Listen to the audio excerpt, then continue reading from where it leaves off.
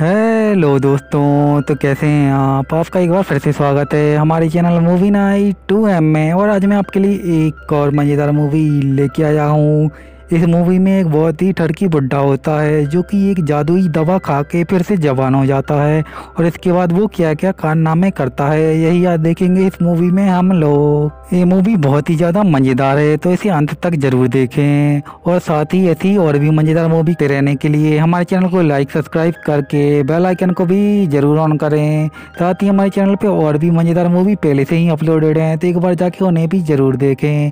तो बिना और ज़्यादा आपका टाइम बर्बाद किए मूवी मूवी स्टार्ट करते हैं। मूवी की शुरुआत में हमें एक ठरकी बुढ़ा दिखाया जाता है, जिसका नाम गैरी होता है। वो दिन भर बैठ के सिर्फ़ लड़कियों की फ़ोटो ही देखता रहता था और वो एक फोटोग्राफर भी था। तभी उसकी शॉप में एक लड़की आती है, जो उससे कहती है, मुझे एक पासपोर्ट साइज़ फ़ोटो खिंचानी है।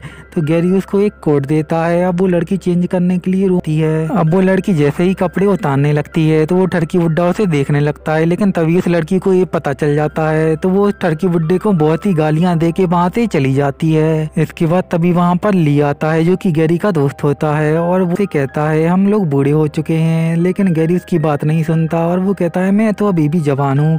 इसके बाद ली उसे एक क्लब के बारे में बताता है। इसके बाद ये दोनों एक क्लब में चले जाते हैं। इसके बाद वहाँ पर सूजी नाम की एक लड़की आती है, जो कि उसके अब सूजी को देख के गैरी अपने आप को रोक नहीं पाता और उसे अपने घर ले जाकर उसके साथ खूब टपाटप करने लगता है। इसके बाद वो उस लड़की से पूछता है, तुम्हें मेरे साथ कैसा लगा?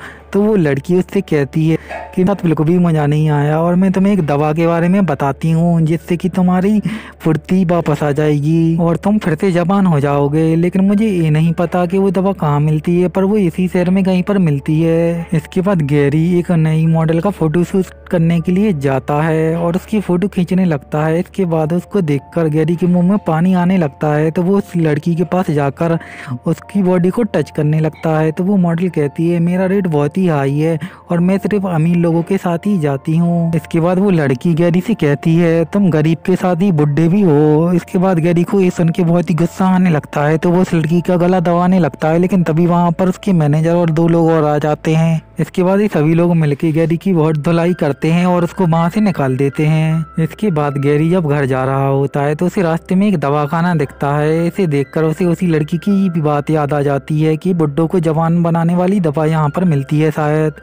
इसके बाद गैरी वहाँ पर जाता है।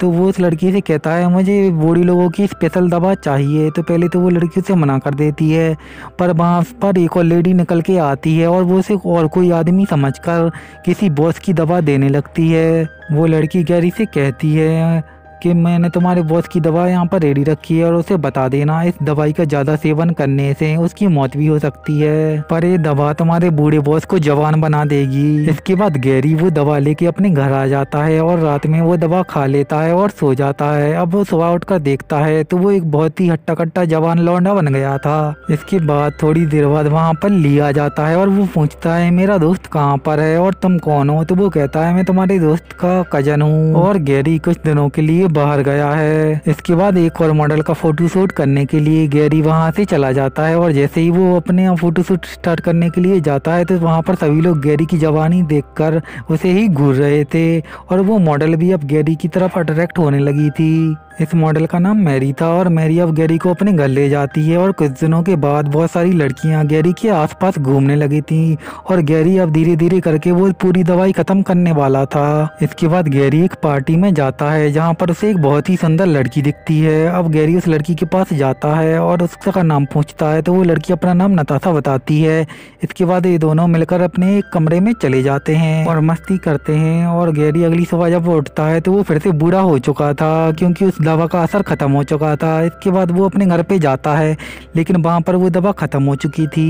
इसके बाद गैरी उसी लेडी के पास जाता है और उससे दवा मांगने लगता है, लेकिन वो देखता है कि वो लेडी उसे दवा नहीं दे रही थी। तो गैरी अब उस लेडी को जान से मार देता है और वो बॉक्स लेके अपने घर आ जाता है। अब वो उस बॉक्स में देखता है कि उसमें थोड़ी सी ही दवा थी तो गैरी उस दवा को खाकर फिर से जवान हो जाता है। इसके बाद वो नताशा के घर पे जाता है और ये दोनों फिर से मिलकर बहुत ही इंटीमेट होते हैं। इसके बाद गैरी सो जाता है और उठ के देखता है तो नताशा एक बुढ़ी औरत बन चुकी थी। अब नताशा उसे बताती है कि मैं एक दवा खाने से दवा लेती थी, जिससे मैं जवान हो जाती थी, लेकिन उस औरत को किसी ने कल रात को मार दिया है। सुन के गहरी हैरान हो जाता है। क्योंकि उसी ने उस औरत को मारा था। इसके बाद देखते ही देखते कैरी भी फिर से बुढ़ा बन जाता है। कहानी के अंत में ये दोनों दर्द से वहीं पर मर जाते हैं। क्योंकि इन दोनों ने दवा को बहुत ज़्यादा खा लिया था और इसी के साथ ये मूवी यहीं पे खत्म हो जाती है।